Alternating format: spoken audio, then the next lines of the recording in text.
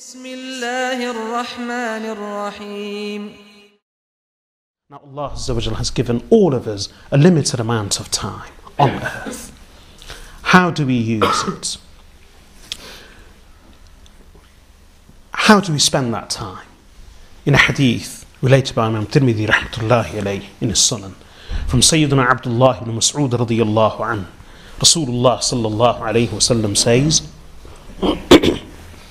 On the day of reckoning, a servant's feet will not shift from his place until he is questioned about five things.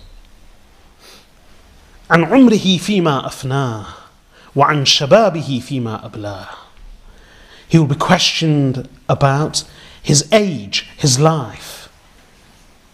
Where did he spend it?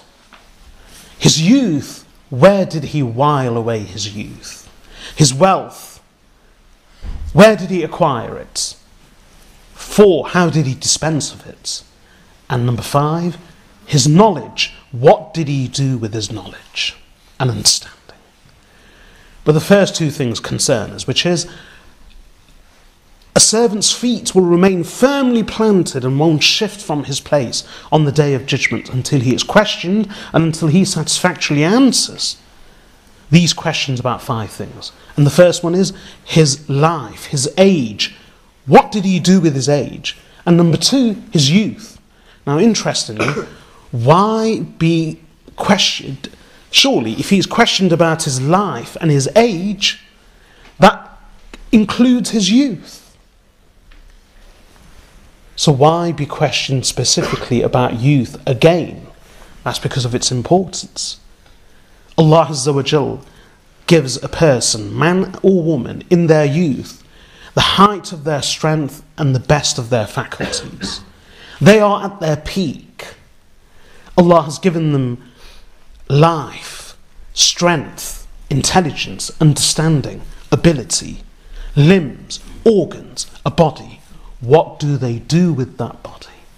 Are they grateful to Allah or are they ungrateful to Him? And one expression of gratitude is to use the gift that you have been given in the manner that the one who gives you the gift desires and wishes. Gratitude is not just verbal, gratitude is also practical.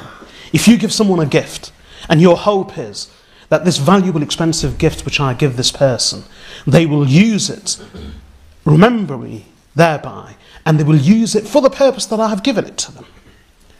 If you give someone a gift and to your face they say thank you, they express the verbal gratitude and appreciation, they acknowledge the gift, but then they go away. You then later come to learn that after the verbal expression of gratitude and thanks, the gift was wasted. It was left aside, never used again, never referred to again. It was never used for the purpose that you gave the gift. In fact, worse, it was actually abused. How would you, as a donor of that gift, feel? Despite the initial verbal expression of thanks and gratitude, would you be pleased? Would you be enlightened? Or would you be insulted, hurt, and offended? Would you feel that I tried to win the favour of this person and I tried to please them? I tried to bring joy to their hearts and happiness to myself by giving them this gift, and they wasted it and abused it. That love will turn to hate, that joy will turn to sorrow, that happiness will turn to great disappointment and an insult and an offence. Because despite the verbal expression of gratitude, there was no practical gratitude. In fact, the opposite. There was abuse of that gift.